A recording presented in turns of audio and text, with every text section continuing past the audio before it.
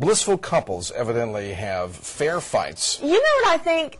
Uh, Do you want to elaborate on No, that? go ahead. real I'll quick? be- rather I think that uh, you know something's in the air Pollen. because it seems well that, and it seems like everyone's breaking up with their people. Well, it's springtime. You're supposed to get new relationships. I thought springtime was supposed to re like invigorate your your relationship. See, oh no, there, there's my See, girl, just- Winnie Cooper. Is off the market. Hey, I got, this is a true story. I can tell you now because now I'm in my 40s and it doesn't matter. Listen to this story. This is a true. We have time for this. Mm-hmm. When I was in these, what do you mean, Winnie Cooper? yeah, good. When I was when I was in the sixth grade and I was like this tall, there was this. I was a uh, door patrolman. Sir, you're gonna love this story. Oh, I'm sure you were. Seriously. you were at like the Paw Patrol.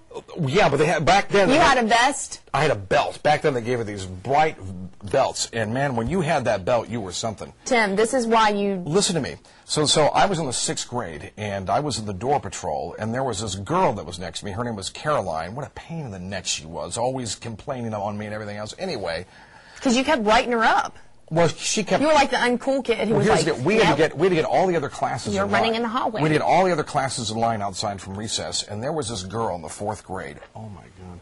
What grade were you in? I was in sixth. She was in fourth. Okay, that's just borderline. No, it's not if you're in the sixth and the fourth grade. Here's the deal, though. I made her line always go last. She wore back in the early '70s these like these boots and these skirts, and she was in the fourth grade. And oh, If someone's just turning into this conversation, No, I was in the sixth- and they're I- like, "What is he talking about?" I would always about?" make her line go last, and of course she would always tell on me. But I'd always say, "Well, they did something wrong," just so I could. You're such a politician at, in, in the sixth grade. You're like, well, well, well, well. They're not Exactly. following by But the rules. just so I could watch her, and she wore those boots every day. She I wanted gorgeous. to fight the uh, the hallway patrol guy I would have sent you to because to you know I was constantly running. I mean, But don't you ever wonder whatever? Like I wonder whatever happened. She was gorgeous.